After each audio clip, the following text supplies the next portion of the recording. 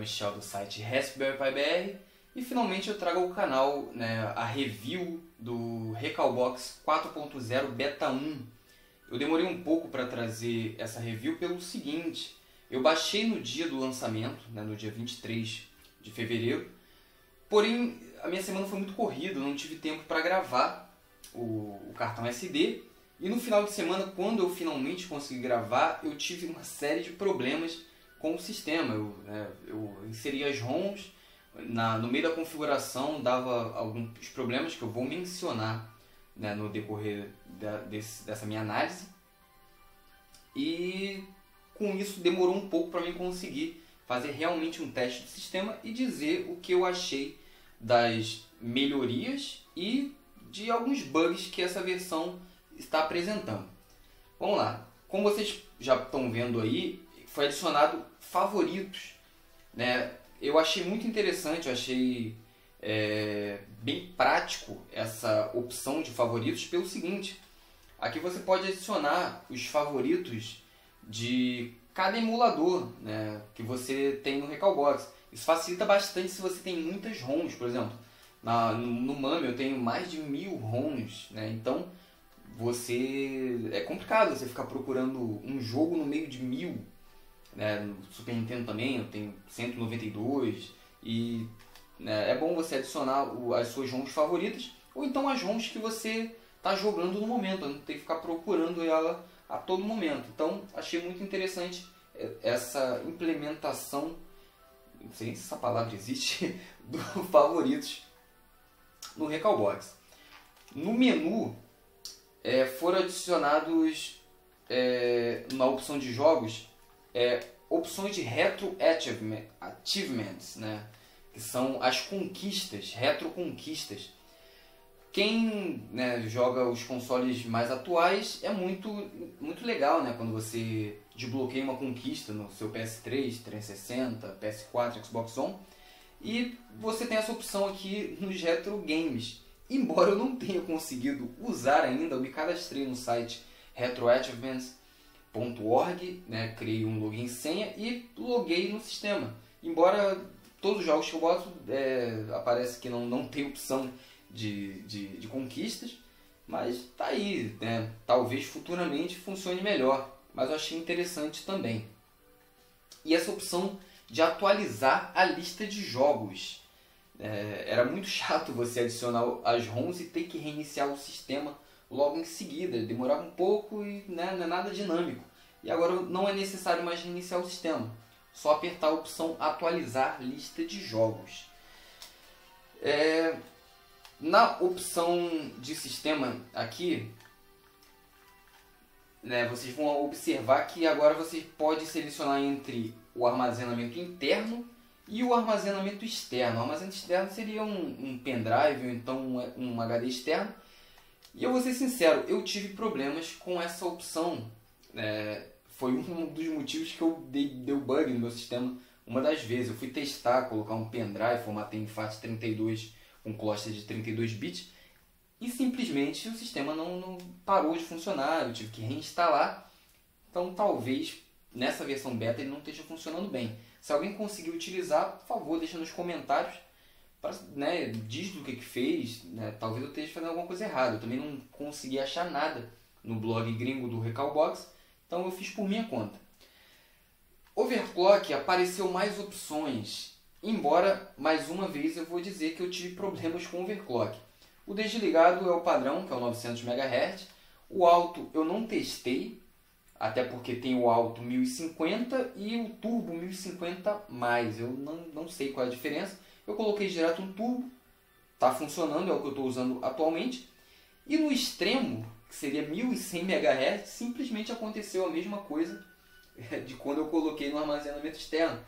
Bugou o sistema e eu tive que reinstalar. Então foi foram as duas vezes que eu tive problema com o sistema.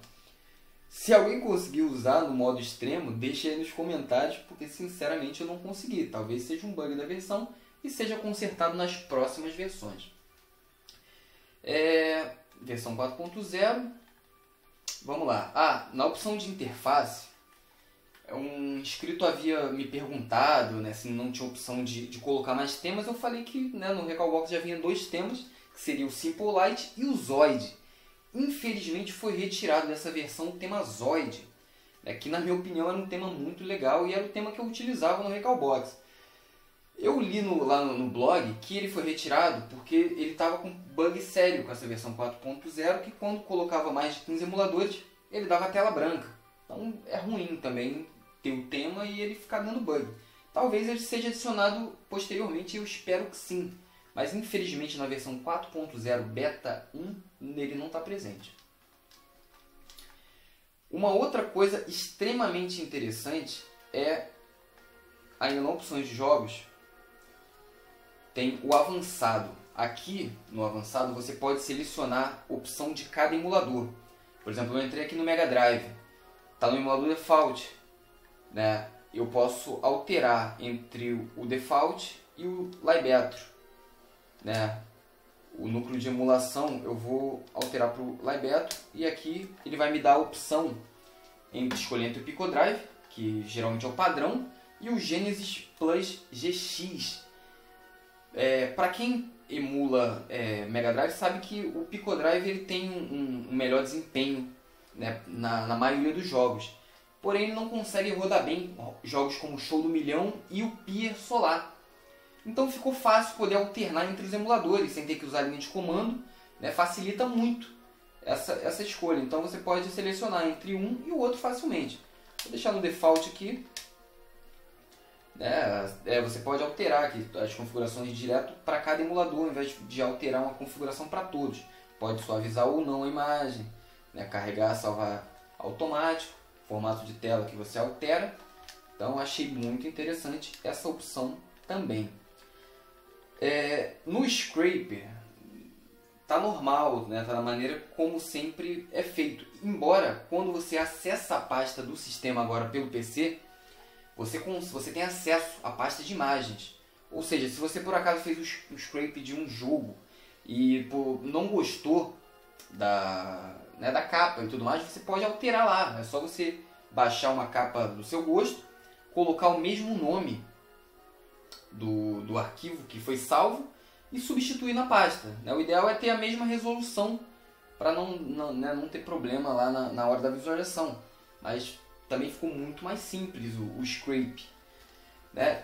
Assim, na minha opinião, o sistema ele evoluiu, né? ele está muito melhor, houve melhorias significativas que tornou a configuração mais fácil, porém é uma versão beta muito beta, né? Como eu te falei, como eu falei para vocês, eu tive problemas na, na hora da configuração, né? O sistema bugou duas vezes, então é um, é um sistema beta, né? Ele funciona bem, o, na, depois que você configura, ele está funcionando muito bem. Inclusive, continuo dizendo que a emulação de Nintendo 64 do Recalbox é a melhor de todos os sistemas no momento. Né? Ele está rodando suave, até jogos como o Super Smash Bros, que costuma engasgar muito no, nas outras plataformas, está rodando até que com um desempenho né, bem legal no Recalbox. Então é isso aí, pessoal. É um vídeo curto, só para falar o que eu achei dessa versão. Né, o que eu posso dizer é o seguinte, houve melhorias no sistema, ela, ele trouxe algumas atualizações bem interessantes, mas talvez fique melhor no decorrer dessa versão né, quando eles forem consertando os bugs, colocar de volta o tema Zoid, né, mostrar como funciona direito a opção de conquistas no sistema, né? Mas é isso, a atualização é válida, dá para utilizar como sistema principal, porém cuidado na hora da configuração, né? Você primeiro configura para depois colocar as ROMs, para não acontecer que nem eu, depois de colocar todas as ROMs, configurar e o sistema acabar né, dando crash e você ter que reinstalar tudo novamente. Então é isso aí, pessoal. Desculpa pela demora para postar o vídeo. Quem viu o vídeo e gostou, dá o like para ajudar na divulgação. E quem está aqui pela primeira vez, não deixe de se inscrever para receber notificações de novos vídeos. É isso aí, pessoal. Um grande abraço e até a próxima. Valeu!